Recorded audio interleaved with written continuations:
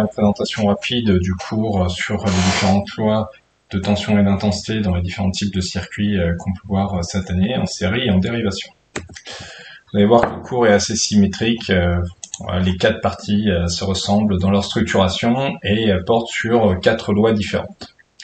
La première loi porte sur la loi de tension dans un circuit en série. Ici, je vous présente un circuit où on observe une pile, donc un dipôle générateur, et trois dipôles récepteurs, des résistances. Il y a également trois voltmètres branchés en dérivation, ça c'est pour le rappel, et on n'observe qu'une seule boucle. Ce qui m'intéresse aussi dans ce circuit pour euh, la loi qu'on est en train de voir, c'est d'identifier euh, les tensions, euh, qu'elles soient aux bornes du générateur ou sur les bornes des différents dipôles récepteurs. Concernant le dipôle générateur, on observe une tension de 12 volts.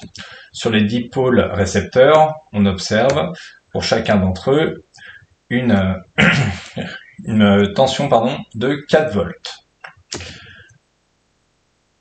La relation qu'on peut essayer euh, d'expliciter à partir de cette observation, c'est que la somme des tensions observées sur chaque dipôle récepteur sera égale à celle du générateur. Donc c'est un pari, c'est-à-dire qu'on ne peut pas faire l'expérience à l'infini avec euh, une infinité de dipôles récepteurs, mais on peut imaginer que pour U4, U5, U6, U7, etc., à chaque fois, la somme de ces U sera égale à celle du générateur. C'est ce qu'on appelle la loi d'additivité des tensions. Donc UG égale U1 plus U2 plus U3 égale plus U à l'infini. L'analogie que j'ai prise euh, en cours, c'était de vous expliquer que euh, si on avait une euh, rivière qui initialement dévalait une pente de 100 mètres de haut, donc c'est vraiment du point haut au point bas, on a 100 mètres à la verticale. Si y a maintenant des petites cascades qui peuvent être observées, eh bien la somme des hauteurs de chaque cascade sera toujours égale à 100 mètres, puisque le point haut et le point bas ne changeront pas, c'est juste qu'il y aura des étapes intermédiaires. Et en fait, c'est ce qui se passe pour les dipôles, c'est-à-dire qu'ils vont absorber une partie de la hauteur, c'est-à-dire que la hauteur totale sera toujours identique. Par contre, la tension qu'ils vont recevoir sera divisée par le nombre de paliers euh, que vous observerez. C'était l'image également que j'avais pris en classe. C'était si vous vouliez euh, comment dire prendre les escaliers ou passer par la fenêtre pour descendre du premier au rez-de-chaussée fondamentalement vous devez aller la même hauteur, sauf que c'est pas du tout la même euh, comment dire finalité.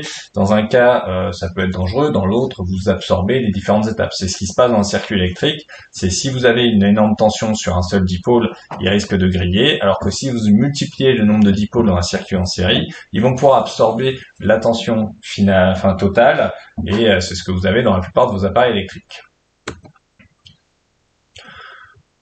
Loi numéro 2, c'est celle de l'intensité toujours dans un circuit en série. Je reprends un schéma ici euh, de, euh, de circuit électrique où on observe toujours une seule boucle avec un dipôle générateur et trois résistances, donc trois dipôles récepteurs, ainsi que trois ampèremètres branchés en série. Les intensités observées sur chaque ampèremètre sont de 100 mA. Par extension, on peut imaginer que s'il y avait un quatrième ampèremètre entre G et euh, le dipôle numéro 3, l'intensité serait toujours égale. Euh, comment dire? Alors c'est là, euh, je viens de voir un truc qui me gêne, mais c'est pas très grave. aurait toujours été égal à 100 mA.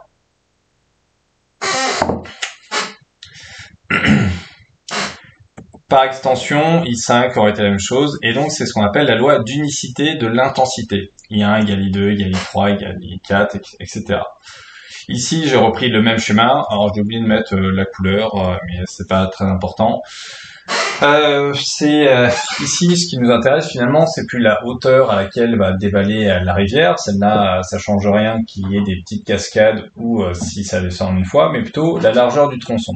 C'est pas parce que vous ajoutez des moulins à eau sur une rivière que la quantité d'eau va être modifiée. C'est-à-dire que le débit d'eau entre le point haut et le point bas va être identique et c'est ce qu'on observe dans un circuit en série avec l'électricité. Les électrons, les intensités, c'est une quantité d'électrons qui va passer et en fait, quel que soit le nombre euh, de dipôles que vous allez avoir, ils vont continuer à traverser ces dispositifs. Troisième loi, elle porte sur la tension dans un circuit en dérivation. Toujours le même principe, un petit schéma, dans lequel on observe un dipôle générateur, en l'occurrence une pile, et trois résistances, donc des dipôles récepteurs.